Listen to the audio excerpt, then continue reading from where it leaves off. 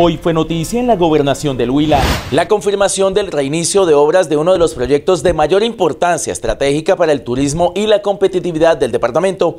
Se trata del Circuito Turístico del Sur. El anuncio fue hecho por el gobernador del Huila, Luis Enrique Duzán López, en evento realizado en el municipio de Pitalito. 2.65 kilómetros del corredor vial Pitalito-Palestina serán intervenidos. Cerca de 13 mil millones de pesos serán invertidos por el gobierno Huila Crece en infraestructura en el sur del departamento del Huila. De esta manera se mejora la competitividad y el turismo del departamento. La entrega de equipos y utensilios por parte de la gobernación del Huila a beneficiarios de trapiches comunitarios en los municipios de Santa María, Neiva, Colombia, La Plata y Gigante, que permitirán mejorar los procesos de producción y manipulación de panela. Continúan las mesas de trabajo intersectoriales preparadas por parte del gobierno Huila Crece con miras de preparar un documento estructurado, el cual será presentado el próximo 5 de noviembre en los diálogos vinculantes que se llevarán a cabo en el municipio de Pitalito, en el departamento del Huila. Los sectores de vías e infraestructura, saneamiento básico y agua potable, el sector piscícola y de educación se reunieron en esta oportunidad.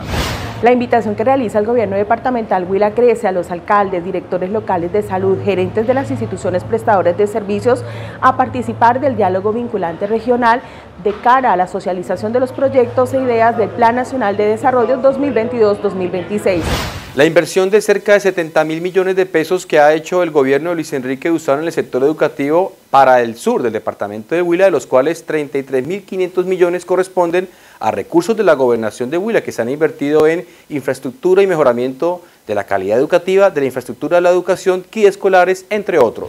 Lo que será noticia mañana, la entregatón de más de mil pasaportes en las oficinas de la gobernación del Huila, donde habrá jornada continua. No deje que se pierda por vencimiento. El Consejo de Paz que se realizará en el Salón de Gobernadores, liderado por el gobierno Huila Crece, con participación de organizaciones sociales, entes de control y comunidad en general.